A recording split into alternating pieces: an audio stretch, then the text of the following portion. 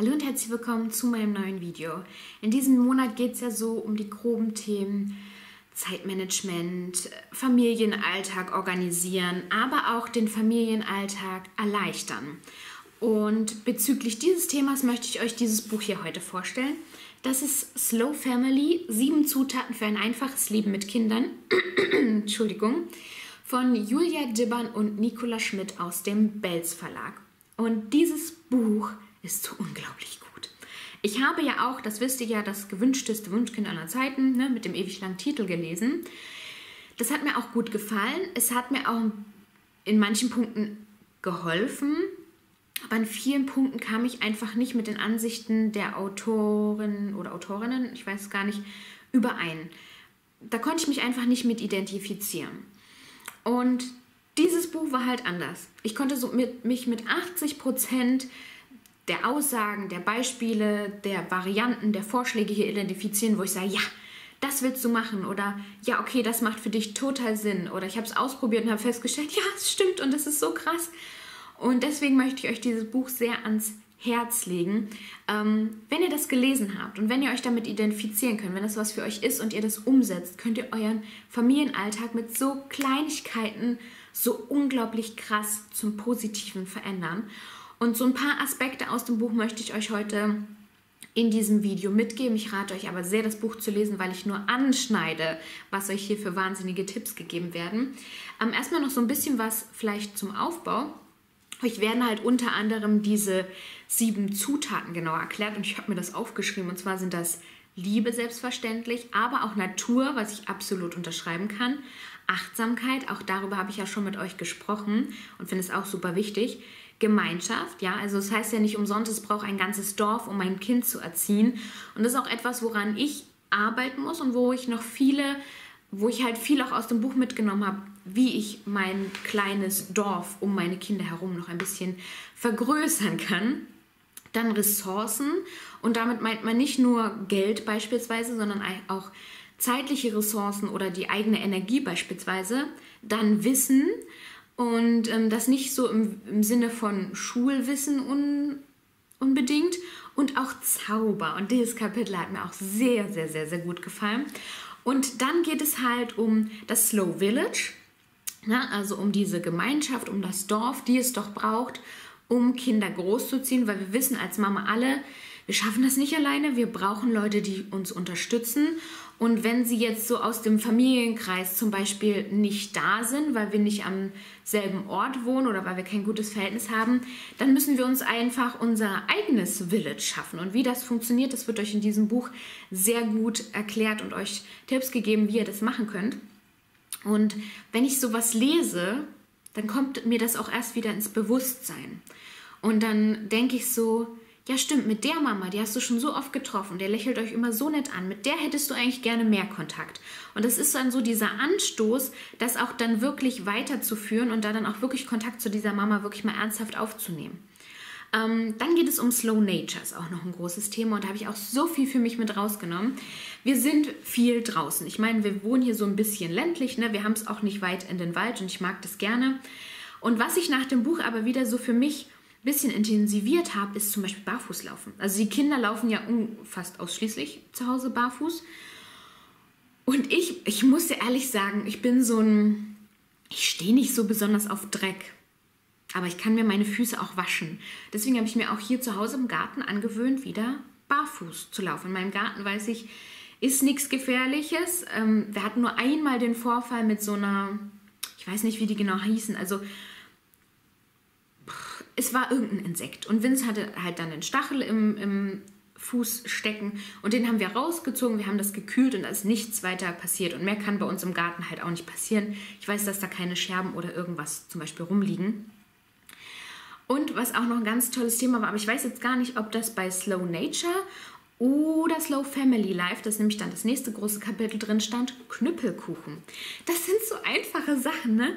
Aber ich habe dann so gedacht, boah, ja, du willst, also bei uns heißt das Knüppelkuchen Stockbrot, ähm, heißt es hier in dem Buch und Stockbrot, so kennen das wahrscheinlich auch viele von euch. Ähm, Knüppelkuchen, das willst du unbedingt mal wieder machen. Ja, total geil. Und jetzt kommt so langsam, ne, der Sommer geht so und der Herbst kommt. Und das ist für mich auch nochmal eine schöne Zeit, einfach um draußen zu sein. Und wir haben halt eine Feuerschale, ne? Die macht man dann halt an. Die Erwachsenen sitzen da drum und beobachten, dass das dann mit den Kindern nichts passiert. Die rennen sowieso die ganze Zeit ähm, durch die Gärten hier bei uns und ähm, über den Wäscheplatz und sind sowieso überall nur nicht am Feuer wahrscheinlich. Und dann wurde halt der Tipp gegeben, okay, Kinder haben natürlich keinen Bock, da die ganze Zeit zu stehen und warten, zu warten, bis es fertig ist. Die wollen es dann einfach essen. Also ähm, vier Kanthölzer zu nehmen, genau, so heißt das dann, glaube ich. Halt einfach mit vier flachen Seiten, sodass man das auflegen kann auf die Feuerschale beispielsweise und sich das dann einfach kümmert. Man guckt selber immer mal wieder nach und dreht das und die Kinder können das essen. Ähm, man kann auch Marshmallows machen, die sind natürlich nicht ganz so gesund, aber einfach nur, man sitzt wieder mal am Nachmittag, Schrägstrich, frühen Abend zusammen, unterhält sich, ist an der frischen Luft, die Kinder rennen rum, man ist trotzdem irgendwie dabei und isst halt noch was Leckeres. Und das hat, ich habe das gelesen und dachte so, ja, das will ich unbedingt wieder machen. Jetzt haben wir halt angefangen, ne, ähm, so Hölzer zu besorgen, die Feuerschale wieder rausholen. Manu möchte noch ein bisschen was bauen für die Feuerschale. Ähm, Ne? Aber wir haben das jetzt in Angriff genommen, weil ich finde das super schön im Herbst, wenn das noch so ein bisschen wärmer ist. Man kann sich entsprechend anziehen, da so am Feuer zu sitzen. Und ich habe das gelesen und dachte so, ja, das willst du unbedingt mal wieder machen. Das ärgert mich dann so, ähm, dass ich erst ein Buch brauche, was mich auf so simple Ideen bringt. Aber das will ich jetzt zum Beispiel unbedingt mal wieder machen. Ähm, das Thema Matsch war auch so ein Thema, ich probiere es erstmal mit Barfußlaufen und meine Füße nachher ordentlich zu waschen. Mit dem Thema Matsch muss ich mich noch ein bisschen anfreunden. Aber ich habe, nachdem ich das Buch gelesen habe, bin ich mal wieder so ein bisschen runtergetickert, was dreckige Kinderkleidung angeht. Weil man kann es waschen und wenn es nicht rausgeht, dann ähm, gebe ich sowas zum Beispiel mit in den Kindergarten. Da wird, werden die Sachen auch nicht besser. Oder ich habe auch immer so einen Stapel Klamotten, die wir anziehen, wenn wir mit Farbe malen oder wenn ich weiß, die werden zwangsläufig dreckig und dann kommt das halt auf diesen Stapel, wenn es gar nicht mehr geht, ja, dann kommt es halt weg. Ne? Also da auch mal wieder so ein bisschen runterzufahren, weil so schlimm finde ich es eigentlich nicht, aber sich dem mal wieder bewusst zu machen, dazu brauchst halt manchmal ein gutes Buch. Dann, wie gesagt, ist ein Thema Slow Family Life, da habe ich auch unglaublich viel nochmal rausgezogen.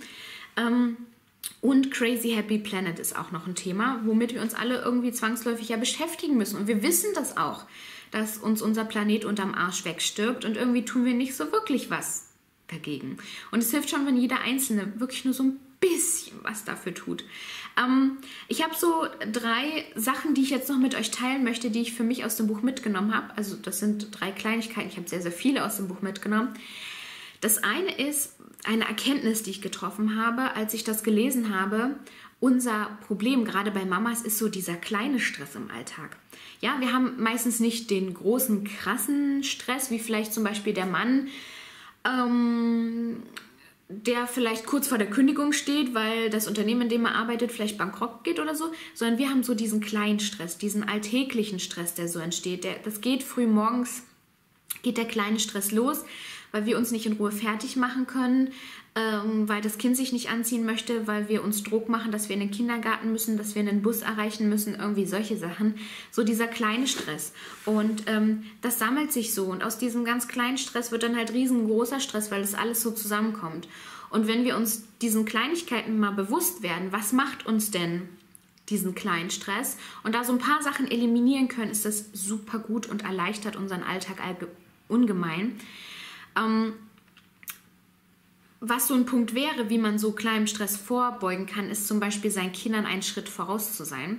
Das habe ich auch gemacht. Ich habe mal geguckt, was sind denn so Situationen, wo es kritisch mit den Kindern wird und wo kann ich ihnen da einen Schritt voraus sein. Ein kritischer Punkt ist bei uns zum Beispiel morgens, wenn es im Kindergarten losgehen soll. Ich habe nicht den Zeitdruck, dass ich zu einer bestimmten Zeit auf der Arbeit sein muss. Ich mache mir aber den Zeitdruck, okay, wir wollen jetzt los, es soll jetzt losgehen, um 8 gibt es Frühstück im Kindergarten. Im Kindergarten würde uns aber niemand den Kopf abreißen, wenn wir drei Minuten später kommen, beispielsweise. Und ich habe mir jetzt einfach angewöhnt, rechtzeitig loszumachen. Also wir sind sowieso rechtzeitig fertig. Ob die Kinder dann nur noch zehn Minuten länger spielen, das muss ja einfach nicht sein. Also beginne ich frühzeitig damit, weil ich weiß, Vince ist früh langsam. Der ist allgemein sehr langsam, aber früh besonders. Und wenn ich halt weiß, okay, wir müssten 10 vor 8 eigentlich losmachen, na, dann lege ich halt 20 vor 8 mit ihm los, dass er sich anzieht. Und dass er sich dann auch in Ruhe anziehen kann, dass ich da keinen Stress machen muss, dass er halt 5 Minuten brauchen kann, um sich seine Socken anzuziehen, wenn es denn sein muss. Und ich kann den da machen lassen, ich muss mich nicht stressen, weil ich weiß, ich habe die Zeit. und einfach halt wirklich in dem Bewusstsein zu sein, okay, ist völlig egal, ob ich 7.55 Uhr da bin, ob ich 8 Uhr da bin oder ob ich halt 8.05 Uhr da bin. Hauptsache, ich komme da irgendwie möglichst entspannt an. Und da gibt es so viele Situationen, wo man seinen Kindern einfach einen Schritt voraus sein kann. Und ein anderer Punkt war, was total simples, wenn deine Kinder mürrisch werden, anfangen zu meckern, unkooperativ werden, check genau zwei Sachen. Sind sie müde oder haben sie Hunger? Und dann tu was dagegen. Es ist so einfach und bei uns ist ganz oft Hunger und dann reicht das schon. Kennt ihr so diese Mais? Wie heißen die? Die sind nur aus Maisgrieß. Mehr Zutaten sind da nicht enthalten. Die sind nur aus Maisgrieß. Solche Sticks könnte man sagen.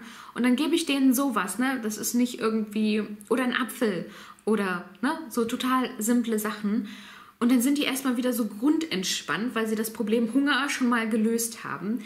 Müdigkeit ist bei uns eher selten ein Problem, aber es ist natürlich auch gut zu checken, okay, will mein Kind jetzt gerade nicht vom Spielplatz heim, weil es A Hunger hat und deswegen jetzt rumbockt oder ist es vielleicht schon extrem müde, habe ich das Ganze hier vielleicht überzogen und dann Kind ansacken und ins Bett und dann ist es wurscht, ob das an dem Tag halt noch gebadet hat oder noch seine gute Nachtgeschichte bekommen hat. Wenn das müde ist, sollte das Kind halt einfach ins Bett und ich muss mir dann nicht noch den Stress geben, dass es vielleicht bei der Geschichte nicht zuhört und wir uns darüber ärgern oder was auch immer. Also guckt, äh, ja, reflektiert einfach euren Tag mal ein bisschen besser. Wo, weil ich habe gemerkt, diese Knackpunkte mit den Kindern, wo es halt schwierig wird, das ist oftmals an zu gleichen Zeitpunkten und schaut einfach, wann ist das und was könnt ihr tun, um dem entgegenzuwirken. Und das hat mir so unglaublich viel jetzt im Alltag mit den Kindern schon gebracht.